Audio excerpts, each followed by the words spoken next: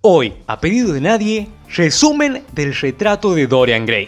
Todo comienza con el protagonista, Dorian Gray, quien llega a Londres porque el tipo hereda una bocha de guita y una bocha de cosas porque su viejo murió. Pero eso no importa, lo que sí importa son los personajes claves que acompañan a nuestro protagonista, Henry y Basil.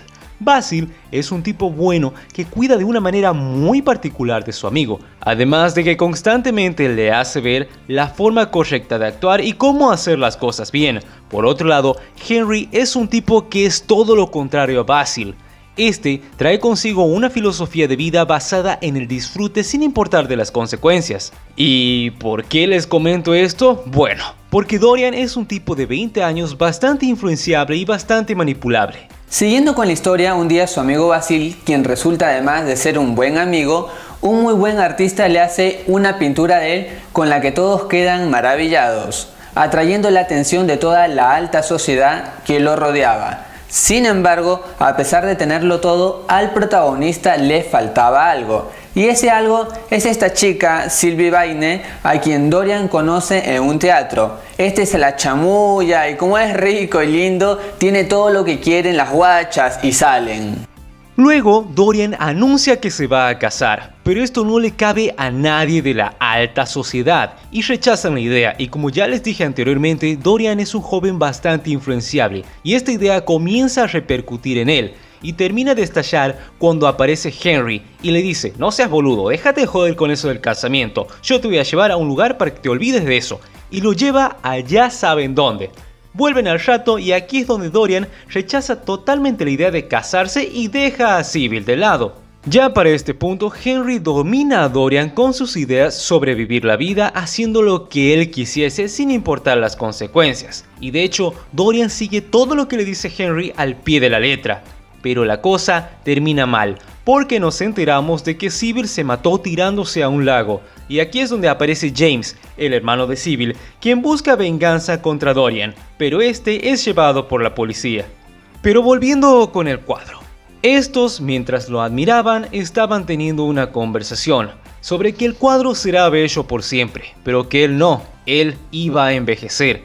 Es entonces, y ya con una metáfora literaria que se nos escapa, es cuando Dorian desea quedarse así por siempre. Y cosa va y cosa viene, Dorian después se da cuenta de esto y se pone a hacer de todo. Total, el cuadro iba a sufrir las consecuencias por él. De un momento para otro, este convierte al cuadro en su prioridad y lo esconde para que nadie pueda verlo. Pero resulta que su amigo Basil quiere llevar el cuadro para una prestigiada muestra de arte, pero Dorian no lo deja. Y ya después de muchas y bastantes insistencias lo deja. Pero antes de eso, vamos a ver una escena romántica entre estos dos. Pero volviendo con el cuadro, este se da cuenta que algo anda mal y es aquí donde Basil sugiere ir con un espiritista o algo así. Pero Dorian lo mata y lo tira al río.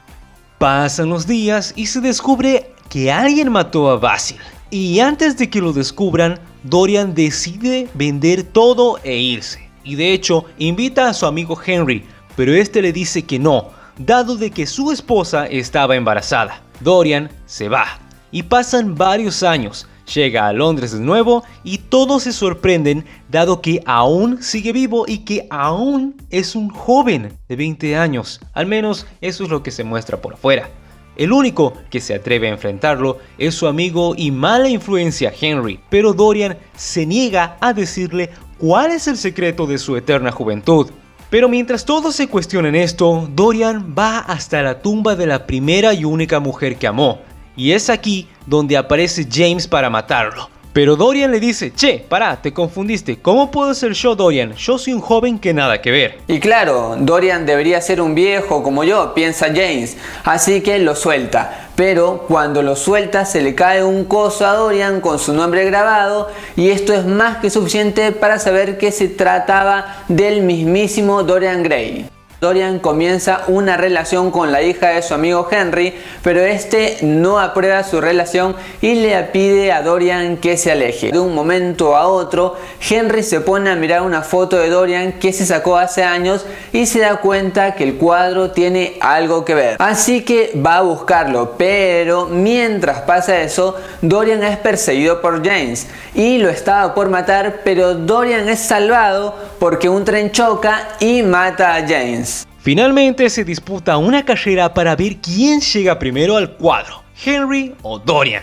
Pero esto no importa, porque a fin de cuentas se ponen a pelear, y aquí es donde se revela la verdad del cuadro, dándonos a entender que en todo momento el retrato sufrió los pasos de los años y todo lo que hizo Dorian, dejando al mismo Dorian completamente intacto. Y para este punto llega la hija de Henry y Dorian es encerrado en la habitación y en un giro totalmente inesperado Dorian decide terminar con todo esto, por lo que decide matar al cuadro de una vez por todas. Y aquí es donde vemos que Dorian comienza a ponerse viejo y también vemos como el fuego comienza a expandirse por todos lados. Ya para el final, vemos a Henry intentando llamar a su hija quien parece que se fue de Londres y se nos revela que el mismísimo Henry, por alguna razón, guardó el retrato de Dorian Gray en una habitación. Y este fue el resumen del retrato de Dorian Gray. Espero que te haya gustado. Gracias a Marco de Cine por haberse sumado a esta colaboración. Así que vayan y suscríbanse a su canal. Esto es todo por ahora. Bye.